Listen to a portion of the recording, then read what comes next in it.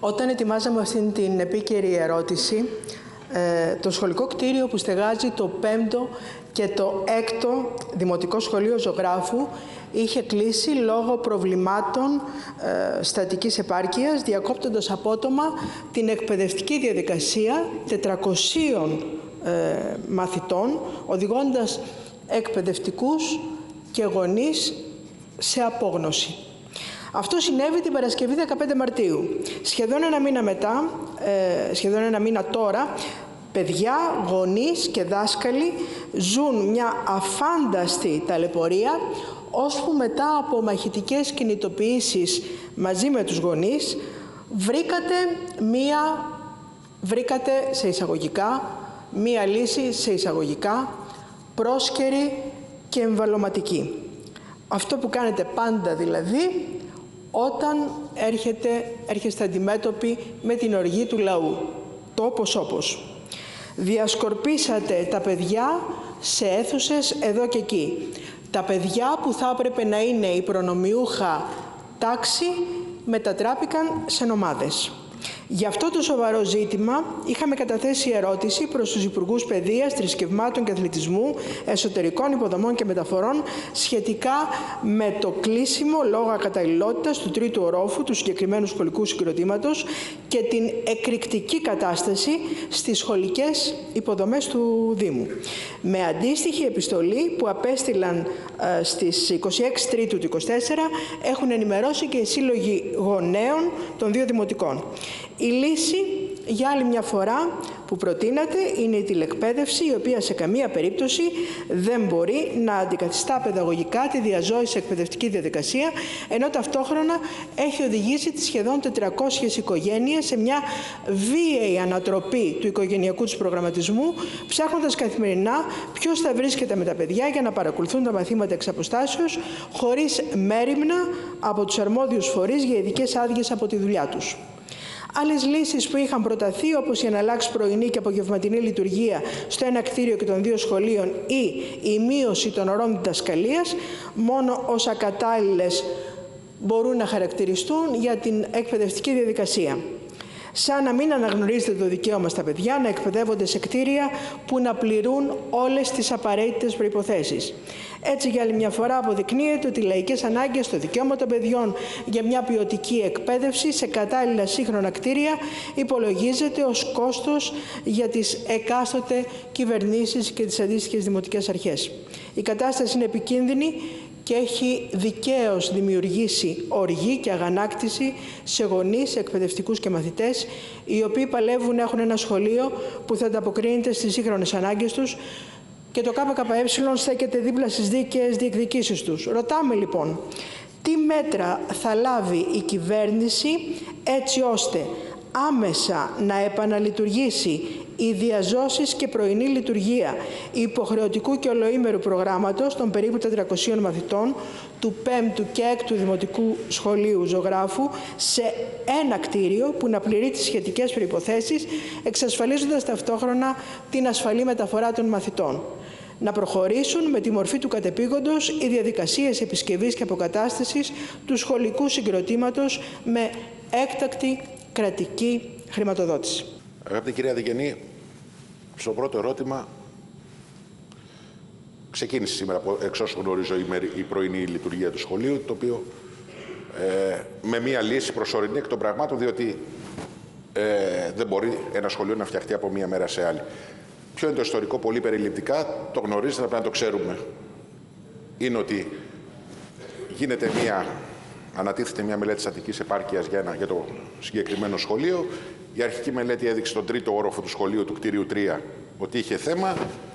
Ε, αργότερα, αρκετά αργότερα, η τεχνική υπηρεσία του Δήμου Ζωγράφου έβγαλε όλο τον, το τρίτο κτίριο ε, ότι έχει πρόβλημα στατικής επάρκειας. Η Δήμαρχος Ζωγράφου ανέθεσε, θα αναθέσει, αναθέτει, ε, στο ΤΕ να κάνει μια τελική πραγματογνωμοσύνη, να δούμε από αυτό το κτίριο πόσο είναι πραγματικά το πρόβλημα και από εκεί, από αυτή τη μελέτη, θα βρεθεί και το κόστος αποκατάστασης, το οποίο ε, θα προχωρήσει. Ήδη έχει κανονιστεί και μια συνάντηση με την ε, Δήμαρχο τις επόμενες ημέρες, προκειμένου να συζητήσουμε μεταξύ άλλων και αυτό το θέμα.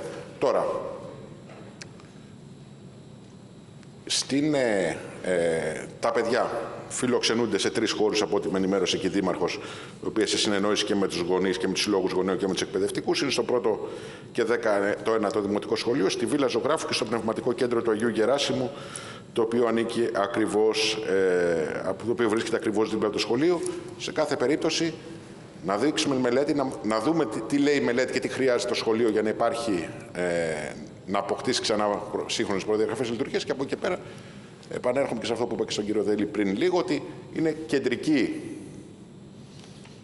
πεποίθησή μου βασική πεποίθησή μου ότι πρέπει να ενισχυθούν οι δημόσιες δομές ε, παιδείας. Ευχαρίστως λοιπόν να συζητήσουμε και με τον Δήμο Ζωγράφου για το συγκεκριμένο σχολείο, εφόσον υπάρχει ανάγκη. Περιμένουμε να δούμε τι ακριβώς έχει συμβεί. Ευχαριστώ. Αντιλαμβάνεστε, κύριε Υπουργέ, πόσο επιφυλακτικοί είμαστε πάντα όταν ακούμε τις λέξεις ε, θα συναντηθούμε, θα γίνουν μελέτες, θα βρούμε μια λύση, θα συζητήσουμε.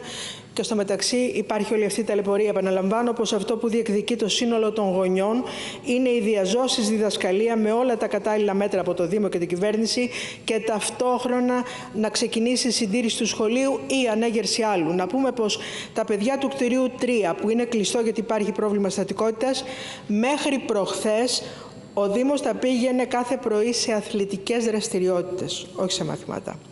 Αν διευθετήθηκε, σε εισαγωγικά το διευθετήθηκε κάτι, συνέβη όπως προείπα, γιατί κινητοποιηθήκαμε, αντιδράσαμε και διεκδικήσαμε μαχητικά το αυτονόητο μαζί με τους γονείς. Πέρασε κοντά ένας μήνας για να δοθεί μια λύση και αυτή μετά από αυτές τις αποφασιστικές κινητοποιήσεις. Ε, ενδεικτικά αξίζει να αναφέρω τι συνέβη τελευταία στην περιφέρεια στην οποία εκλέγομαι έπεσε φεγγίτη στο Δεκέμβρη στο πρώτο νηπιαγωγείο ημιτού. Έπεσε μαντεμένιο καζανάκι στο τέταρτο δημοτικό ημιτού. Έπεσε πόρτα σε εκπαιδευτικό πριν από ένα μήνα στο πρώτο νηπιαγωγείο ημιτού με αποτέλεσμα τον ελαφρύ τραυματισμό της. Έκλεισε το 5ο και 6ο Δημοτικό Σχολείο Ζωγράφου λόγω προβλήματος θετική επάρκεια. Έπεσαν σοβάδες το Μάρτι στα κεφάλια των μαθητών στο 4ο Δημοτικό Ημιτού. Έπεσε φωτιστικό σώμα εν ώρα μαθήματος πριν μια εβδομάδα στο 6ο Νηπιαγωγείο Βύρονα. Τα περιστατικά αυτά κάθε άλλο παρά τυχαία είναι. Προστίθενται στη μακρά λίστα συμβάντων παντού. Σχολεία που μπάζουν νερά από οροφές με την παραμικρή βροχή. Τα βάνια που πέφτουν πάνω στα κεφάλια των μαθητών. Σε και μαθητών και εκπαιδευτικών. Τα ζούμε καθημερινά, τα βλέπετε κι εσείς. Για την κυβέρνηση το έχουμε εμπεδώσει, δεν είναι προτεραιότητα τελικά η ασφάλεια των παιδιών η κατασκευή σύγχρονων σχολείων, υπηαγωγείων, παιδικών σταθμών και παιδικών χαρών. Προτεραιότητα είναι έργα εκατοντάδων χιλιάδων, όπως η ενεργειακή αναβάθμιση σχολείων, για να ενισχύσει την κερδοφορία μεγάλων κατασκευαστικών ομήλων, προμηθευτών, κατασκευαστών, χωρίς προηγούμενο επαρκή έλεγχο και τη σεισμική θωράκιση σε κτίρια τριών ή τεσσάρων δεκαετιών.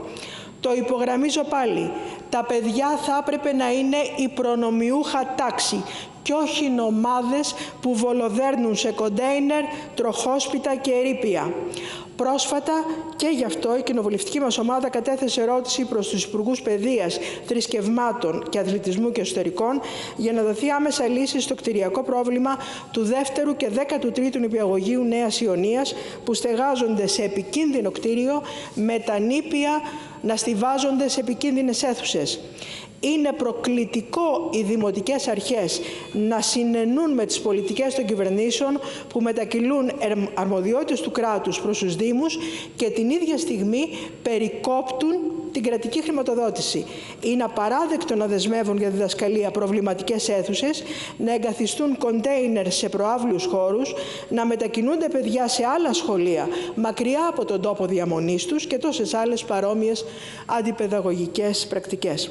Όταν δεν διεκδικούν από τις κυβερνήσεις κονδύλια για παλωτριώσεις οικοπαίδων με σκοπό την ανέγερση νέων σχολείων. Είναι εξοργιστικό μέσα σε μια νύχτα δεκάδες εργοστάσια και ελεύθεροι χώροι να μετατρέπονται σε σούπερ μάρκετ μεγάλων αλυσίδων και να αποχαρακτηρίζονται από χώρους για ανέγερση σχολείων δεκάδες στρέμματα. Οι ευθύνες της κυβέρνησης και των αρμόδιων φορέων για την απουσία ολοκληρωμένων μελετών και ανέγερση σύγχρονων σχολικών μονάδων σε όλες τις βαθμίδες εκπαίδευσης είναι μεγάλες και οι πρακτικές σας εγκυμονούν κινδύνους. Θα πρέπει να ξέρετε πως δεν θα συμβιβαστούμε με αυτήν την κατάσταση και ούτε θα περιμένουμε το επόμενο ατύχημα. Η κατάσταση είναι κριτική και έχει δίκαια δημιουργήσει οργή και αγανάκτηση σε γονείς, εκπαιδευτικούς και μαθητές που παλεύουν να έχουν ένα σχολείο που θα ανταποκρίνεται στις σύγχρονες ανάγκες τους. Ένα σχόλιο θα κάνω μόνο. Καταρχάς από διάφορα χρηματοδοτικά προγράμματα έχουν δοθεί πάρα πολλά χρήματα και για ανέγερση σχολικών μονάδων. Άρα λοιπόν, επιτρέψτε μου να σας πω ότι δεν είναι ακριβές αυτό που δεν υπάρχουν χρηματοδοτήσεις. Χρηματοδοτήσεις υπάρχουν και υπάρχουν για διάφορα ε, για όλες τις βαθμίδες εκπαίδευσης, από παιδικούς σταθμούς, από βρεφικούς σταθμούς, από δημοτικά σχολεία, από γυμνάσια, από λύκεια, από ειδικά δημοτικά, από ειδικά σχολεία έχουν δοθεί και από το Υπουργείο Ιστορικό, από το πρόγραμμα Τρίτσης, πάρα πολλέ δεκάδες εκατομμυρίων για ανέγερση. Από εκεί πέρα, το ξαναλέω, κάθε επίπεδο κρατικής λειτουργίας έχει το ρόλο του και την ευθύνη του. Οι Δήμοι πρέπει να μεριμνούν για την καλύτερη δυνατή επίλυση αυτών των θεμάτων από εκεί πέρα και να αξιοποιούν όλα τα διαθέσιμα χρηματοδοτικά εργαλεία. Μπορούμε να συζητάμε πολλές ώρες για την κατάσταση των ε, δημόσιων ε, εκπαιδευτικών δομών. Πάντως υπάρχει διαρκής μέρημνα και φροντίδα προκειμένου να κάνουμε ένα καλύτερο σχολείο, ένα καλύτερο δημόσιο σχολείο ε, για όλα τα νέα παιδιά. Ευχαριστώ.